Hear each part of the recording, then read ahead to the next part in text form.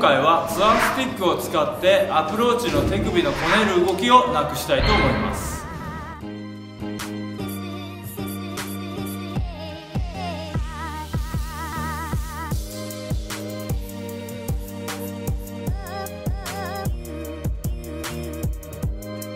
プロゴルファーの奥山です。今回はですねよく僕がレッスンしていてアマチュアの人で一番多いこの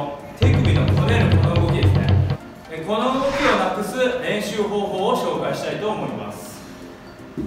えアプローチを普通に振っていてこのハンドファーストで手首を固定しようと思っていても結構このようにねこねてしまう動きっていうのはたくさん入ってしまうんですよね。これは僕も昔そうでした。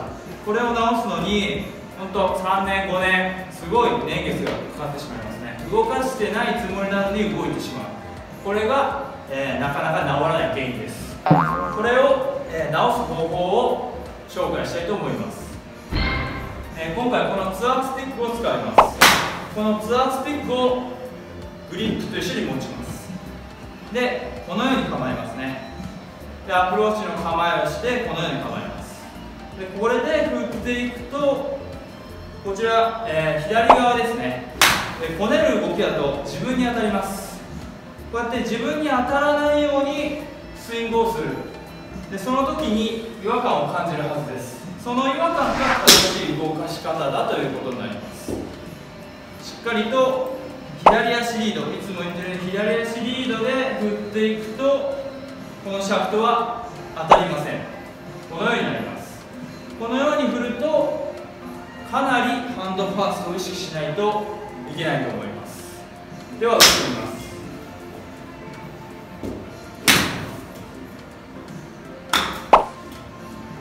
このようにこのシャフトが当たらないように振ることがシンプルに振っている。